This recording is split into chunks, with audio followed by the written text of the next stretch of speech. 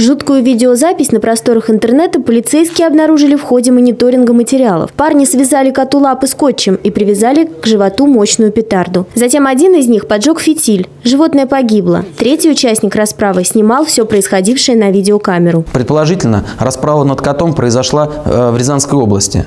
Э, полицейские начали проверку. Вскоре установили, что к жестокой расправе над животным причастны трое жителей села Выжгород Рязанского района. Сотрудники полиции разыскали этих парней.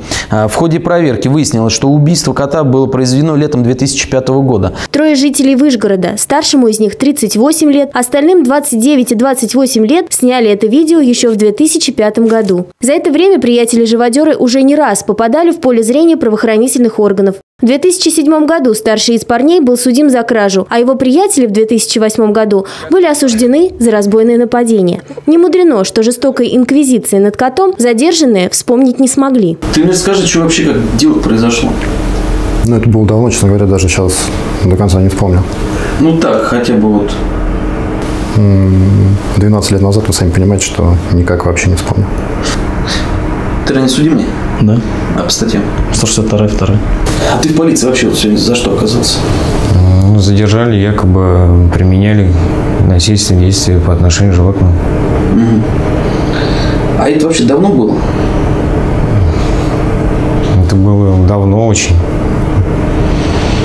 12 лет при- приблизительно, может быть больше.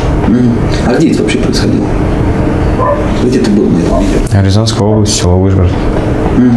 Однако сотрудники полиции не смогут наказать живодеров, взорвавших кота. Срок давности для подобного рода деяний составляет всего два года и к настоящему моменту уже истек, а задержанные отпущенные на свободу. Ведущий автор программы «Диалоги о животных» Иван Затевахин предложил наказать взорвавших кота рязанцев долгими реальными сроками. Об этом он рассказал в интервью газете «Культура». Он отметил, что в США за жестокое обращение с животными выносят приговоры до 20 лет лишения свободы. В Китае подобное карается смертной казнью. В настоящее время Комитет Госдумы по природным ресурсам, природопользованию и экологии активизировал работу по ужесточению наказания за издевательство над животными. Остро отреагировала и общественность. В интернете появилась петиция с требованием наказать рязанцев, взорвавших кота. К настоящему моменту ее подписали уже около 20 тысяч человек.